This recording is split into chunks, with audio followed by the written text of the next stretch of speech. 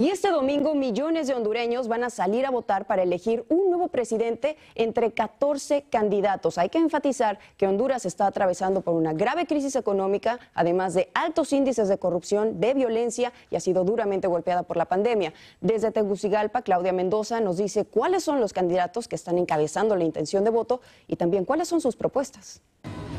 Más de 5 millones de hondureños mayores de 18 años elegirán un nuevo presidente de entre 15 partidos políticos que participan en las elecciones generales este 28 de noviembre.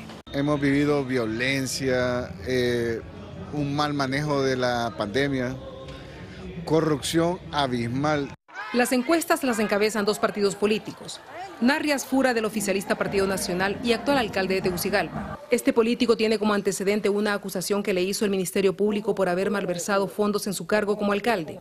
Aunque salió bien librado de la acusación, también pesa sobre él pertenecer al grupo que ha dirigido a un partido político salpicado por el narcotráfico y la corrupción.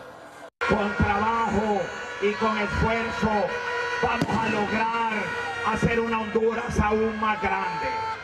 La segunda fuerza política está liderada por Xiomara Castro de Celaya, del izquierdista Partido Libertad y Refundación, el que se unió en alianza al Partido Salvador de Honduras de Salvador Nazarrala. Castro busca por segunda vez convertirse en la primera mujer presidente de Honduras. Ella es la esposa del expresidente Manuel Zelaya, derrocado en el 2009. Sus adversarios la acusan de que, en caso de ganar las elecciones, impondrá un gobierno similar al de Venezuela o Nicaragua. Pero en sus discursos públicos ella dice que instalará un Estado de Derecho con independencia de poderes para reconstruir un país que ha estado abandonado. ¡Basta ya de tanto latrocinio, de corrupción, de narcotráfico! Para este sociólogo y analista político, si Asfura gana, será la continuación de la crisis y el deterioro de la democracia que vive Honduras.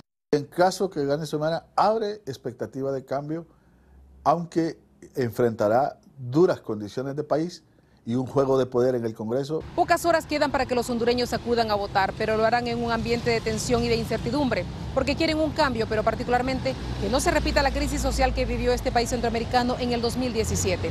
En Tegucigalpa, Honduras, Claudia Mendoza, Univisión.